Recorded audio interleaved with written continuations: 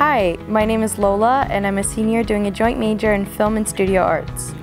All film classes at Bard are taught at Avery, where I've been introduced to a wide variety of creative practices, from analyzing film to actually getting behind the camera and making it myself.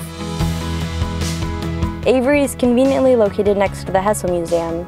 I enjoy going there to see our amazing graduate student artwork that's on display. It's a great source of inspiration for my own projects.